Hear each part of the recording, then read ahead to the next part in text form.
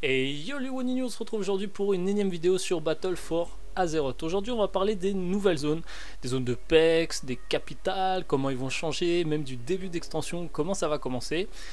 Il faut savoir que toutes les informations que j'ai pu récupérer ont été récupérées sur des sites fans de World of Warcraft tels que Mamitwing, Jujipe, MMO Champion ou OED. Il faut savoir que je ne connais pas toutes les informations, je n'ai fait que les croiser et vous les expliquer dans cette vidéo. On est le 8 novembre, toute information qui sortira au-delà, forcément j'en ai pas connaissance, donc ne m'en voulez pas. Bonne vidéo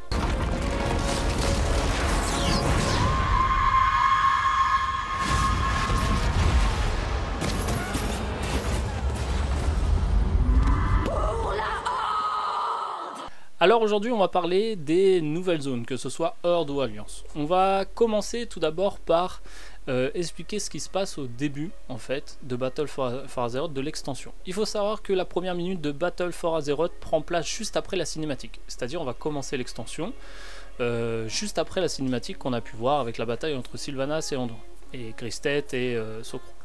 Il faut également donc expliquer que ça veut dire que toutes les quêtes qui vont nous mener à cette bataille là sont des quêtes qui arriveront avant le début de l'extension comme Légion avec les invasions, de tout ça, et bah là ça sera la même chose. Ça, on arrivera avant, euh, avant l'extension, on fera toutes les quêtes qui vont mener en fait tout simplement à la guerre, euh, à l'embrasement de, de, l'arbre monde, euh, ou tout simplement en fait l'attaque de Fossoyeuse la combustion de Teldrassil est l'événement qui amène l'Alliance à faire le siège de Fossoyeuse. Donc ça, c'est des infos Blizzard, ils sont sortis.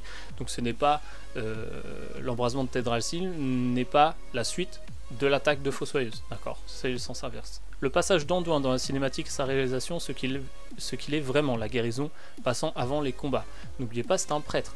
Certains sur euh, Reddit euh, expliquaient qu'il était peut-être paladin, la lumière, tout ça, etc. Non, c'est un prêtre qui préfère soigner que se battre. Point barre. D'accord euh, Battle for Azeroth est une histoire plus personnelle que celle d'une menace majeure. Cela veut dire quoi? Cela veut dire que on va vraiment être fixé sur conflit hors d'alliance. Alors j'ai vu des posts en disant euh, ouais et tout, je suis un peu déçu, euh, hors d'alliance, ça tourne en rond, etc. N'oubliez pas que Warcraft est né par la guerre en fait entre les deux factions. Donc à partir de là, c'est l'ADN, c'est le sang en fait.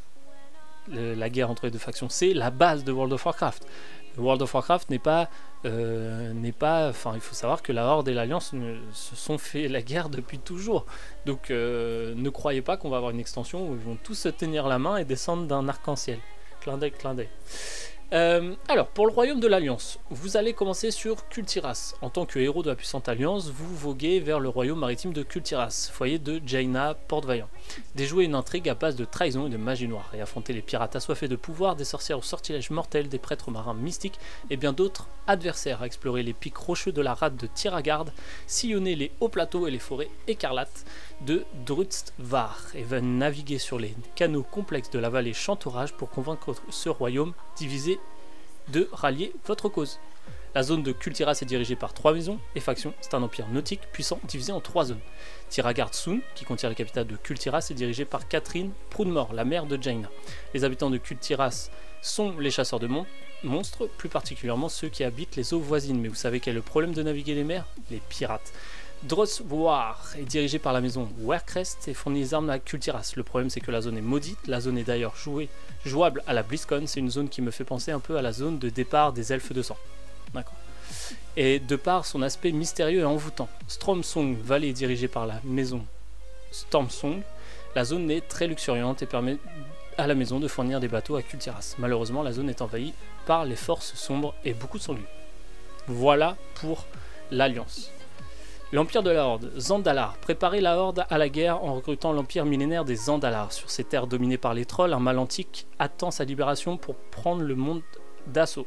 Combattez les trolls sanguinaires et fanatiques, des dinosaures gigantesques et des vestiges des titans. Découvrez euh, Zuldazar, oui, la plus vieille cité d'Azeroth. Explorez les lugubres marécages de Nazmir et traversez les vastes et redoutables déserts de Voldun.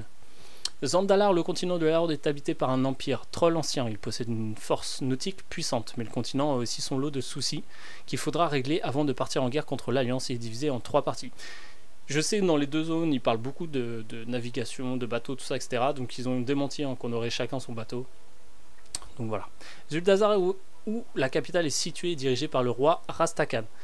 Il essaie d'avoir plus d'informations sur une rébellion dans ses rangs, tout en essayant de contenir les assauts de trolls de sang contre l'Empire. Pas besoin de dire qu'il n'y a fort à faire. Nazmir a un problème de marécage qui ne cesse de s'étendre. Pour combattre ce fléau qui attire les parasites, la Horde se ralliera à Loa, qui sont considérés comme des lieux par des trolls. Des dieux, pardon. Et qui ressemblent à des grosses roues. En parallèle, la Horde découvrira des secrets sur les titans. Voldoun, enfin, est à l'inverse désertique. Bien sûr, c'est une raison d'envoyer les criminels dans la zone pour qu'ils périssent. Mais ils ne succombent pas tous. Ce sera l'occasion de découvrir les Vulpara, une nouvelle race de PNJ qui sont euh, pas, trop mal, pas trop mal faits. Enfin, il sera possible de confronter la puissance, le puissant Cetrak. L'extension va suivre de plus près les pérégrinations des héros les plus célèbres de la franchise, donc Thrall, Sylvanas, Anduin, Jaina, et aussi Vol'jin, bien sûr, transporté par Thrall dans une une. Donc c'est vrai, c'est pas un fail, hein. c'est vraiment... Euh, voilà, apparemment, euh, les cendres de Vol'jin seront transportées par Thrall et son esprit nous parlera. C'est un chaman, n'oubliez pas que les chamans, leur esprit en fait est éternel, donc euh, c'est vrai qu'on va revoir Vol'jin, d'accord. Six zones de deux continents 6 zones de continents. Les joueurs vont gagner leur niveau jusqu'au niveau 120 dans le continent qui est lié à leur faction. Le reste du monde s'ouvrira au niveau maximum, les joueurs seront embarqués dans une campagne de guerre épique qui commence dès les premiers niveaux de l'extension. Blizzard va continuer de proposer des quêtes et des expéditions. Donc il faut savoir que la Horde seront sur un continent, l'Alliance sur un autre, on croisera aucun autre de la faction adverse, Sauf à partir du level 120, où là on aura des expéditions à faire, donc les expé euh, sont toujours là, hein. les expéditions à faire sur les deux continents. Refaire Kalimdor et les royaumes de l'Est à nouveau était une option, cependant l'équipe a réalisé que l'histoire était liée au niveau et a juste décidé d'utiliser la technologie de sharding afin de changer les zones d'existence pour les personnages 110 et plus. C'est-à-dire en fait au level 110 et plus, quand tu arriveras dans une zone, bah, en fait elle changera. Genre Teldrassil, elle a cramé, bah, au level 110, elle, elle sera cramée. Est-ce qu'il y aura possibilité de revenir dans la première zone au level 110-120 Je sais pas je sais pas. Donc est-ce qu'on pourra aider nos potos qui commencent un elfe de la nuit par exemple à Teldrassil? J'en ai aucune idée. Chaque capitale possède une ambassade de recrutement pour les races alliées. L'ambassade d'Ogrimar se trouve à Goblinslum, l'ambassade de Hurlevent se trouve derrière le quartier des Nains. Sylvanas, Varrock, Ben, Sabot de Sang, Dame Liardrin, Rokan, Lord Témartéron, le prince marchand Galiwix, Jipat de Feu, Etrig et Nathanos le flétrisseur, qui est le bras droit hein, de, Sylvanas, se trouvent à l'ambassade d'Ogrimar. Sorfan, Ben et Nathanos ont chacun un nouveau modèle. Anduin, Turalion, Aléria, Coursevent, Tyran de Murmevent, Vélène, Gêne Gristet, le grand bricoleur Mécanivel, Muradine Barbe de Bronze, Esa Poète de Nuages et Irion, Irion se trouvent à l'ambassade de Hurlevent. Irion n'est pas à côté des autres. J'ai rien à dire, mais euh, c'est vrai que si vous connaissez un peu l'histoire d'Irion, moi je l'aime pas trop ce mec là. donc il est pas à côté des autres, donc ça veut dire que voilà, mais il est là-bas quand même. Qu'est-ce qu'il fout là-bas J'en sais rien. Lorsque vous visitez ces ambassades, les chefs de faction discutent euh, de la recherche d'alliés pour la guerre avant de vous demander de choisir une race.